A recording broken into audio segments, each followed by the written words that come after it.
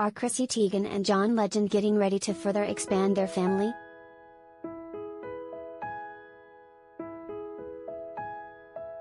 On Friday, the Cravings cookbook author seemingly hinted that she's going the surrogacy route, by posting on her Instagram stories a photo of needles and capsules that could be used for an egg retrieval procedure.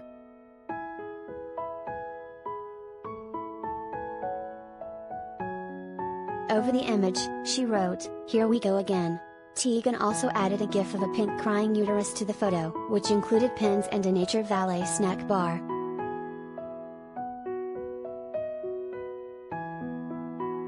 In October 2020, the model, 36, shared that she had suffered a miscarriage losing an unborn child that the couple had named Jack.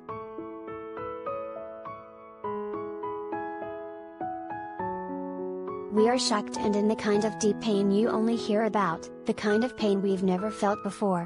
We were never able to stop the bleeding and give our baby the fluids he needed, despite bags and bags of blood transfusions. It just wasn't enough, she wrote, alongside a heartbreaking black and white photo of herself sitting up and crying in a hospital bed.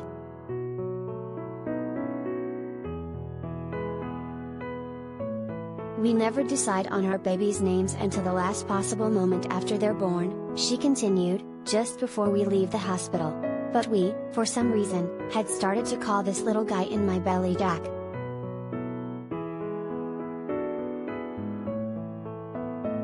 Three months later, Teigen warned that she will never be pregnant again,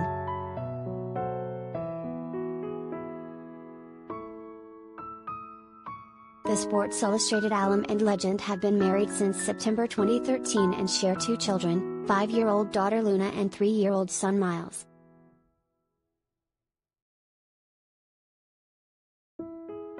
Last month Teigen revealed that she is celebrating 6 months of sobriety.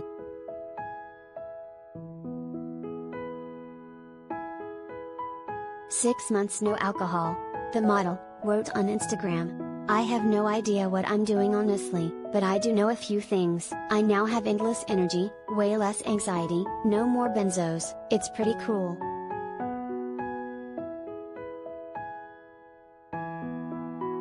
Teigen's rep did not reply for comment.